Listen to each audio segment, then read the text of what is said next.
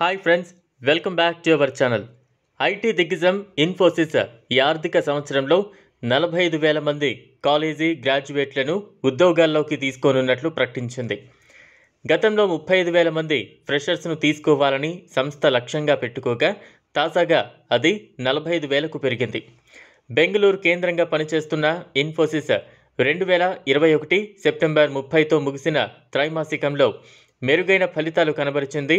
ఇన్ఫోసిస్లో పెరుగుతున్న attrition rate కారణంగా కొత్తగా కాలేజ్ గ్రాడ్యుయేట్లను తీసుకోనున్నట్లు సంస్థ ప్రకటించింది. పూర్తి స్థాయిలో మార్కెట్లో అవకాశాలు అందిపుచ్చుకునేందుకు ఈ ఏడాది కొత్తగా నలభై ఐదు వేల కాలేజీ గ్రాడ్యుయేట్లను తీసుకుంటున్నట్లు సంస్థ chief operating officer Praveen Rao వెల్లడించారు. ఉద్యోగుల ఆరోగ్యం వారి సంరక్షణకు చర్యలు తీసుకోవడంతో పాటు వారి శక్తి సామర్థ్యాలు పెంచే శిక్షణ కార్యక్రమాలు నిర్వహించడం వారికి సరైన వృద్ధి అవకాశాలు కల్పించే ప్రక్రియ చేపట్టినట్లు తెలిపారు. ప్రస్తుతం ఇన్ఫోసిస్లో non coding RPA developer consultant principal architect specialist programmer Java micro సర్వీసెస్తో సహా అనేక జాబ్ ప్రొఫైల్స్ కోసం నియామక ప్రక్రియ ప్రారంభించింది. వీటిలో మెజారిటీ ఉద్యోగాలు బెంగళూరుకు చెందినవే ఉన్నాయి.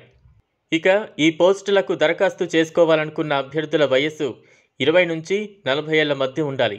జీతం వచ్చేసి సంవత్సరానికి లక్ష ఎనభై వేల నాలుగు వందల ఇరవై తొమ్మిది రూపాయల నుంచి ఇరవై ఒక్క లక్షల ఇరవై మూడు వేల ఏడు వందల అరవై ఒక్క రూపాయల వరకు ఉండొచ్చు. దరఖాస్తు విధానం చూస్తే అభ్యర్థులు కేవలం ఆన్లైన్ విధానంలోనే దరఖాస్తు చేసుకోవాలి. అధికారిక వెబ్సైట్ డబ్ల్యూడబ్ల్యూడబ్ల్యూ dot Infosys dot com slash careers slash apply dot html open చేయాలి. కంట్రీ ఇండియాను ఎంచుకోవాలి.